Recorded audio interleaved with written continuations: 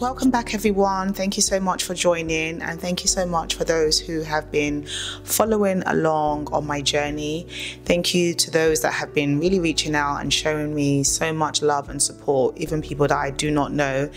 I do not take it for granted. I'm really, really grateful because this is quite difficult, which I've said quite a few times for me to come out here. But I believe um, my story is helping, even if it's just one person, to recognize the signs and, and the traits of a narcissistic relationship which is really my objective. So, today I'm going to discuss and talk about the importance of my support system and how this really went a long way in regards to me breaking out and coming out of the narcissistic marriage I found myself in. If you're new and you're wondering what am I talking about, I am sharing my journey on how I married a Christian narcissist. I have spoken quite a bit on different parts of the relationship in order to help people to recognize what narcissistic abuse looks like. Um, if you haven't seen, check my videos. I'll post the first video up here. You can click the link above, which is about how I married um, the Christian narcissist, the initial attraction, how did I find myself there? I also have spoken about the red flags, which is so, so important and is the key element that I am trying to really bring about you know, I just want people to have that awareness of what to look out for. Um, I've spoken about the manipulative tactics and how my faith was used against me.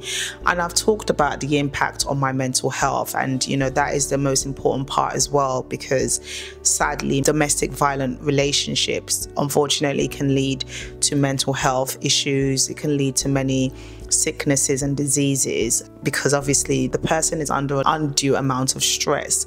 And you know sadly these can even lead to suicide and there's so many cases. And my story particularly resonates with the religious sector the church to be specific because I didn't just marry um, a narcissist. I married one who was um, a religious one. So I'm trying to shed light that you know when you least the places that you'd least expect to find such people um, is unfortunately where they are. And i you know so that's why i'm sharing my journey. So today i want to talk about the support system and how that really came in hand.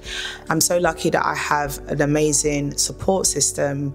People that are related to me by family blood you know, my mom, my dad, my um, siblings. I have sisters, I have a brother, you know, I have aunties, mentors that have known me for so many years. And then I have people that I don't even know that just somehow God just sent them my way. Like God has been so good to me, you know, even in the marriage while I was going through hell, I just always had people that would step in and just show me love. There was always someone I could reach out to. I wasn't someone who really spoke about what I was going through in the marriage. And I think I touched on, on this in my last video that if you're seeing these traits, you must speak. You cannot keep silence because it's your support system that would really help you to recognize it even further I will never forget there was one of my mentors who I'd always have like prayer sessions with and I don't take mentors lightly although I was burnt you know I spoke in my first video about how a pastor misled me into marrying um, the man I did marry um, by saying God said despite being you know hurt by that uh, man of God who I looked up to as a spiritual lead I did not allow that to prevent me from still ensuring that I have godly counsel around me, those that are more spiritually sound um, around me. It's in the Bible as well. I believe there's scriptures to basically back this up. The one that even comes to mind is, you know, the scripture that even says, let the older women in the church teach the younger ones. So I've not allowed, you know, that mistake or that incident to affect me from, you know, having godly leadership in my life. So there was one of my prayer sessions with my mentor that I was able to ask, you know, after I've shared quite a bit, and, you know, these are women that are not my age group. So sometimes you're a bit like not sure whether you should open up to people that are within your age group for so many years. I wasn't sure what I was in. I had no idea I was in an abusive marriage, first of all. Secondly, I did not know I had married a man who was clearly meeting all the traits of a narcissist. You know, that was something I recognized after. But during one of my sessions, I do remember um, asking my mentor that, listen, you know, a few of the problems I've been experiencing and I've just, you know, been going back and forth. And, you know, at that point, I was starting to cry for help. Like I knew I was in trouble. I knew my marriage needed help. And I was obviously praying and doing all the spiritual side of things. But I had to now realize that this is beyond normal and I needed to kind of understand what my mind is telling me is this true? So I do remember asking my mentor one fateful day during our prayer session, which our prayers were always targeted at the marriage and praying for God to really come in and restore and just, you know, heal and just do what I needed, which was have a healthy marriage and, you know, live a life that is normal and pleasing to the Lord. But one of the days I asked her, like, Ma, is this normal? Like some of the things I've explained in my previous videos that I've been going through, you know? Because I really was under the impression that these were just typical issues that husband and wife have. Like I said, I had no idea it was abuse. So I was just thinking that's what it is. But when I asked her, like, is this normal? Like, is this a typical matter that you find, especially those that can counsel other couples. They've, you know, they're pastors, they're leads.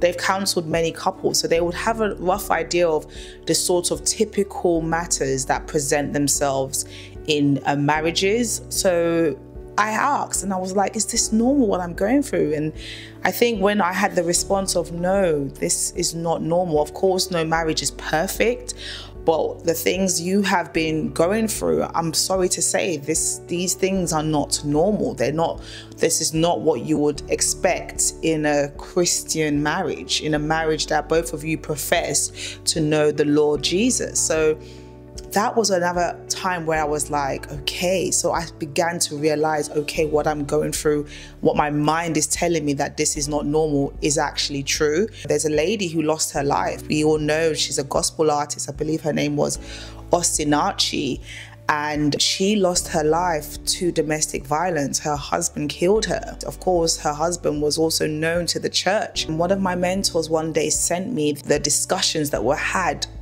post her death, where I think Nigeria really rose up at that time to really start talking about abuse, domestic abuse that takes place in the home. When I watched that video, which was a panel of, you know, psychologists, um, psychotherapists, and all these different counselors, all these different types of professionals, alongside ministers of the gospel, you know, in terms of like ministers themselves, women of God, men of God coming together. There was like a panel and they had a discussion, and it was so enlightening because if I had not seen that video, I would not have even recognized I was in an abusive marriage. As I watched that um, video, I was like, oh my gosh, my marriage is an abusive one.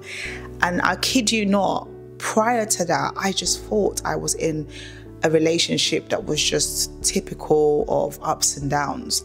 That was as a result of having a support system. My support system really came in hand. As I've broken out of this um, toxic marriage, I have had several people that I have not even communicated with, but they had watched me from a distance. They had um, seen me maybe on social media or seen me out on the streets preaching with um, the man I married, seen, you know, you know, well, these days social media is a tool that obviously people can relate with people just what they see online. I've had people that obviously knew me when I went to church, the church I used to attend. What I want to pull out is people that I have not even had a conversation with have expressed how they had been praying for me you know, realizing that I was most certainly in a toxic marriage. It was just so like shocking, I would say, for me as I've come out and I'm sharing my story to realize that so many people knew I was in a toxic marriage, I was in a narcissistic marriage to be so precise. And I was the last person to really recognize it. And I've said already in my previous videos that that was obviously because I was in a cycle which is commonly known as the trauma bond. You know, I was bonded by this trauma that I was experiencing and it's you know it, somehow it was just what I knew if you know how much strength I had to gather how much courage I've had to gather to actually come out of this marriage. It has I've said it in my post before, it is a lot easier to stay, but staying is so damaging. Staying is so killing. Like you're literally dying a slow death. So, what was it worth me really getting all the courage to get out, which was not easy? Or stay and die a slow death. You know, those were the options I was presented with. So, in regards to the support system, I believe I had so many people watching and praying. I had mentors, I had family that, you know, even though the man I married really did so much to destroy my family, to destroy my mom's support for me, you know, like there was just so much that happened that, you know, clearly the objective was to isolate me and just destroy the bond bond I had with my extended family. However, despite, you know, several arguments I got into with them to defend the man I married, I got into several arguments, even with my mom, with my sisters, you know, really trying to let them know that, listen, this is my husband and I am willing to stand by him. But, you know, despite them just knowing that I wasn't myself, and despite them being offended severally based on the things I said to them and the things he had said to them, when I was woken, when my eyes had opened up, they, you know, embraced me with open arms. They did not discourage me, they did not push me. While I was in it, they obviously was aware what I was going through, but they stood apart. They stood away. They did not try, you know, there's some families that will try to come and destroy that marriage, you know, and rightfully so. They, I believe they had a right to do that because no parents wants to see you in a marriage that can literally lead to your death. But respectfully, my family did not mediate until I opened up and I opened up right at the end. Like, like I said in my last video, I mentioned when the red light bulb hit me, and that was when I was like, oh my gosh, this guy that I've married, I will just keep going. I will pluck out my eyes, pluck out my nose, and I still won't be appreciated. So, you know, the point I'm making is my family opened up with open arms the moment I was like, guys, this is what I'm going through. Like, and they just knew it and they didn't make me feel like we told you because I mean, I kid you not, my family and my friends, they did try to warn me, especially one of my very good friends, you know, who um, our relationship was destroyed as a result of the man I married, but somehow God is faithful and we rekindled six years later. We did miss a good six years of our lives together, but God has been faithful and has brought this woman back into my life. She warned me from the get go and say, please don't marry this man. So I was warned, you know, I ignored the red flags. I said it in my previous video. But my point on this video is to just express how your support system is very, very important. And it's important you speak out. It's important you recognize the signs and the traits of an abusive relationship. I've been obviously speaking about the traits on what I've experienced, which are very much on the narcissistic spectrum, if that's even a way to describe it. Um, again, I've not spoken too much about what narcissism is, and I will speak more about what narcissistic abuse looks like. I will be more specific in general, but I have just been given a few snippets of my story, of my journey. I cannot tell it all. Of course, I've only given you about 10% of the hell I went through. Um, however, the key thing is, I just want you all to understand that your support system is very important. It was very important for me, and it's something that you are definitely going to need if you are in a relationship with someone who is presenting these red flags that I've spoken about. It's the people that love you, that care about you, that will help you and give you the boost and courage, and most especially your faith in the Lord Jesus. I'm not going to even neglect that part. I think ultimately it's been God that has really helped me. And contrary to what you'd probably receiving in the gaslighting of this person, especially if it's a religious person that you know you don't know God, God doesn't love you, God doesn't care about you, which was one of the attacks that was definitely used against me I was severely attacked in my faith, you know, by this man I married. He constantly bashed me about, you know, my identity in Christ. And if it wasn't for the Lord, on my side, I don't know where I would be, but I know that the Lord has been with me from the get go. He's never left me, even though it might have felt like, God, how comes, you know, how did you allow me to? But I will talk about the lessons I've learned in my next video because the lessons I've learned are really um, to really highlight the areas that I went wrong. And we can't blame God when you simply walk into the pit. You saw the pit and you walked straight into it. And that's essentially what I did did. So to um, just come to bring this video to a close, you know, I would definitely say that my support system, people that God sent around me, God sent me help, and just my own personal relationship with God, which is paramount. And I think that is another thing I would like to emphasize, you know, as much as you might go through all this pain, you know, the Lord will bring you out of that pain and bring you into his promises for you. That weeping may endure for a night, but joy comes in the morning. The Lord has said, but the vision is yet for an appointed time. At the end, it might speak, though it tarries, wait for it. So while you're going through the fire, while you're in the valley, do not neglect God. Do not let Him go. With all that I faced, I did not let God go. I knew, I mean, he's always been my backbone. He's always been everything to me. You know, a lot of a lot of people have also reached out to me and said, "Oh my gosh, I didn't even know you were going through all of this." And that's because I tried. I mean, deep down when you're unhappy and you're sad and you're miserable, it's hard to mask it, but I would say that I definitely held on to the Lord. I held on to Him with, with all that I had, you know, even despite so much damage that was done by men of God that I looked up to. You know, it wasn't just the one man of God that I explained that, you know, led me to marry this man and said, God said.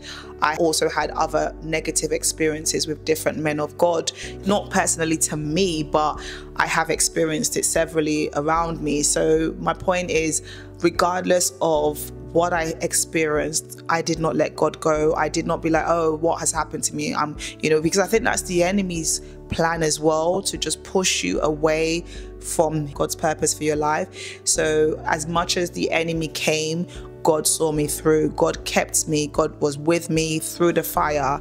I'm still going through it. You know, it's not been an easy journey, you know, but I am so confident that the Lord is on my side. You know, like that song that I believe Victoria Orenze sang, which is called I Get Back, you know. I can't sing, but, you know, I definitely would confidently say that I have the backing of the Lord by my side. He loves me so much and you know he has been with me and I know that he's standing with me and I know he's guiding me to you know the next level of wherever he wants to take me and I'm following him. You know my eyes are fixed on him and that is definitely what one would need when one finds themselves not just in an abusive marriage, but you need him regardless, but most especially when you find yourself in an abusive relationship. So I hope this video has helped you to realize the importance of your support system. You know, I hope you've been able to understand that your support system is very, very key. Don't neglect them as much as the person who is against you that you might be in this relationship with is trying to isolate you, you know, recognize that these are traits of an abusive relationship and you must run. I've said it in the past. If you recognize these signs and you're just dating the guy, you ain't, you ain't married him, run for your life. You know, if you haven't seen my videos, check them out. I feel I think I've shared enough of my journey to show you all that listen these are the things you need to look out for.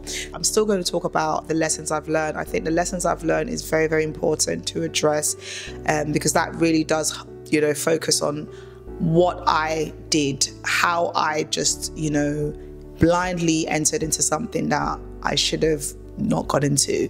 Overall, my message is to empower somebody out there to realize that you're not alone if you have been through what I've been through. Sadly, there have been so many messages I've received that echo that I wasn't alone and you're not alone. And, you know, that message of empowerment, hope, and peace is what I want to bring you. You know, I've come out of it. I have the joy of the Lord, which is my strength. And I'm not encouraging anyone to leave their marriage, but I'm letting you know that there is light at the end of the tunnel. Your situation will not bring you down, but if you're definitely in that phase where you're courting, you're dating, please, please, please look out for these signs. You know, they're more common than you would think. Um, and, you know, hopefully the lessons I've learned will help also to inform a decision that you will make with regards to the man you do decide to walk down the aisle with and, you know, commit to forever. So thank you once again for watching. Um, I really appreciate if you haven't subscribed to my channel, do subscribe and hit the notification button. It really does help um, because yeah, I definitely want this message to get across to those that need to hear it. Thank you once again for watching and I'll see you on my next one. Bye.